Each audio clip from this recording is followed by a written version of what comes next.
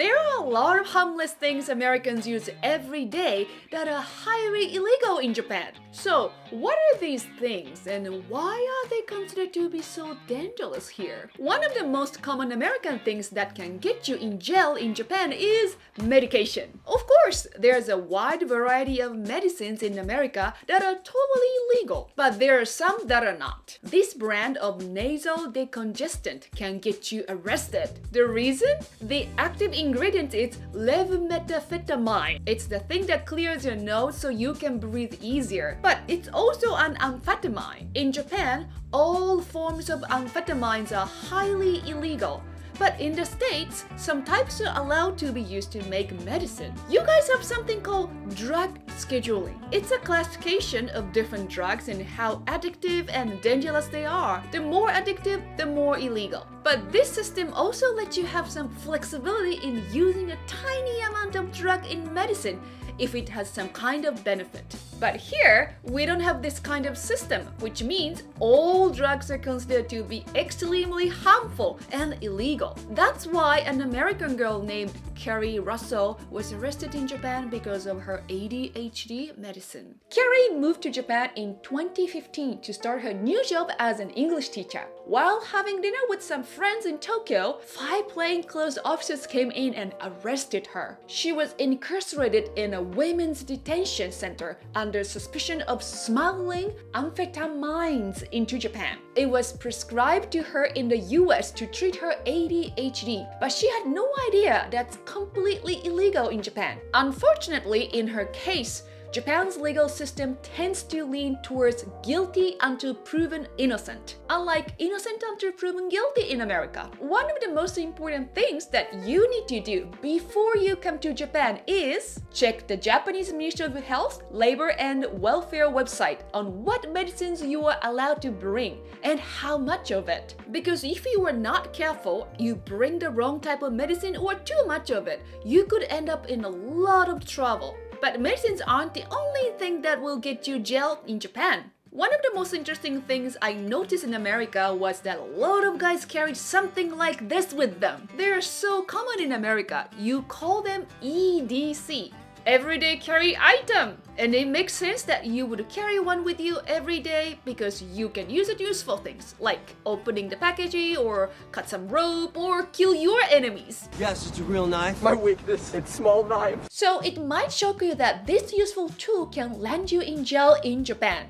Yes, a small pocket knife like this is enough to get you arrested and charged, thanks to Japan's Swords and Firearms Possessions Control Law. Article 22 states that anyone who's carrying knives with a blade longer than 6 centimeters for no other reason besides work or justifiable reasons can be punished with jail time in Japan. This law was implemented in Japan after World War II in 1958. This was mainly used as a way to prevent gang fights that involve guns and swords. These days, it's pretty rare for people to carry even a small pocket knife with them. If you are hiking and you have a small knife with you, it might be okay, but it's still probably better to make sure the length of the blade is shorter than 6 cm or don't carry anything at all. In general, I think carrying a pocket knives in Japan is a very bad idea. If the police decide to search your belongings for any reason and find one, you could end up in a lot of, lot of trouble. Actually, this was the case for a 74-year-old American man who came to Japan in 2009 and who ended up in detention for 9 days. Before I share the story with you, it's hard to verify if it was a real case. The only source I could find on it was an article from Japan Times. A 74-year-old Californian man came to visit his son who was living in Japan. He asked a couple police officers for directions, but they asked him, Are you carrying a knife? The older man said, Yes, then showed them the pocket knife he brought with him from the US. After measuring it, they found that the blade was 8.6 centimeter long, which means it is considered illegal in Japan. He was then arrested and held for 9 days in a cell. Knife laws are pretty serious in Japan, and it's not uncommon for a suspect to be treated as guilty in Japan. So when you come to Japan, keep your knives, pocket knives, and mud tools at home. You definitely don't want to be caught carrying one by the police. This kind of punishment might seem ridiculous, but what if I told you that you could go to jail for something even more ridiculous than this? Because you can actually face prison time for selling illegal Pokemon. Before you ask, Yes, Pokemon are real. They just don't look as cute as ones in the video game.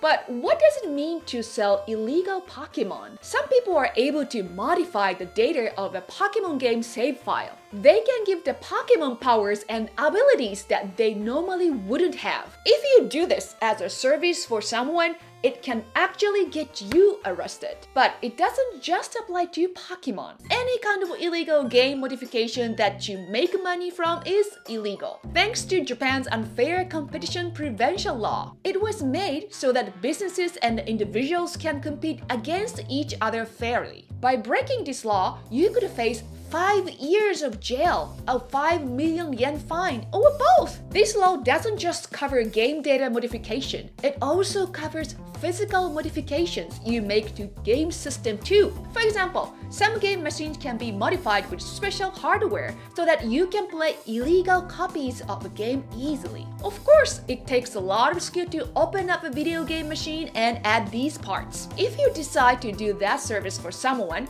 you are breaking the law. And there have been people who were arrested for breaking this law. A 23-year-old man in Aichi Prefecture was modifying customers' save game data for the game Pokemon Sword and Shield. For 500 yen, he made a customer's Pokemon more powerful and gave the special move that they can't get. He made a cool 1,150,000 yen doing this. But now he's paying the price in prison. Of course, this kind of activity isn't criminally punished in America. As far as I know, there's a famous case in the 1990s where Nintendo tried to sue a company called Galoob over special equipment called Game Genie. It lets you change the code of any video game on your Nintendo. So you could give yourself unlimited lives, special powers, etc. that the game developers never intended. Nintendo tried to argue that it infringed on copyright laws, but the judge didn't agree and Nintendo lost the case. But in Japan, Nintendo finally gets the last laugh